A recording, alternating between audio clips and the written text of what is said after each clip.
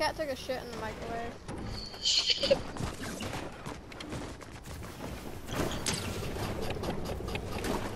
Boy, boy, boy freaking hit me off the edge. My guy.